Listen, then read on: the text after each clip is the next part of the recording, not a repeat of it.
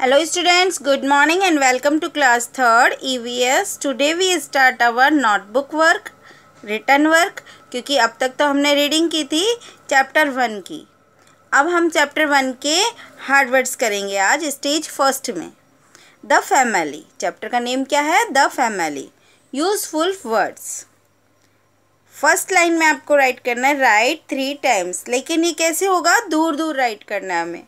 जैसे मैम ने कर रखा है ना सेम वैसे ही आपको करना है।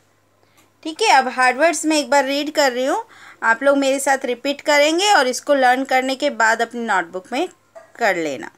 Family F A M I L Y family nuclear N U C L E A R nuclear large L A R G E large joint J O I N T joint relative R E L A T I V E relative.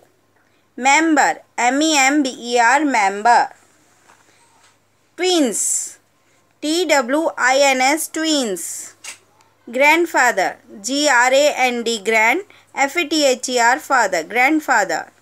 Grandmother G R A N D grand M O T H E R mother grandmother. Parents P A R E N T S parents brother. B r o t h e r brother. Sister. S i s t e r sister. Uncle. U n c l e uncle. Aunt. A u n t aunt. Cousin. C o u s i n cousin. Family tree. F a m i l y family. T r e e tree family tree Generation. G-E-N-E-R-A-T-I-O-N. Generation. Hereditary. H-E-R-E-D-I-T-A-R-Y. Hereditary. Twins. T-W-I-N-S. Twins. Fraternal. F-R-A-T-E-R-N-L. Fraternal.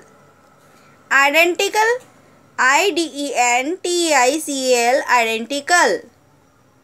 Pair P A I R pair sharing S H A R I N G sharing caring C A R I N G caring ये सब hard words आपको learn करने हैं, फिर आपको last में सी design draw करना है और स्टार्स कैसे लाइन में ड्रॉ करने हैं, बिल्कुल स्ट्रेट लाइन में।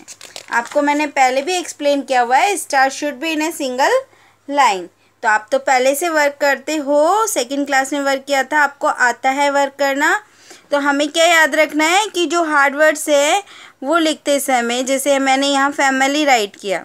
तो नेक्स्ट वाला हार्ड वर्ड इसी के नीचे से राइट करना है write N U C L E R nuclear तो इस तरह से जब हम राइट करते हैं तो हमारी नोटबुक बिल्कुल सुंदर दिखेगी। जब वर्क अच्छा होगा तो हमें पढ़ने का मन करेगा राइट तो अपनी राइटिंग भी अच्छी रखनी है और वर्क भी। और लर्न करके ही हार्डवर्ड्स आप अपनी नोटबुक में करेंगे। तो ये इजी रहेगा एग्ज़ाम टाइम के लिए। Thank you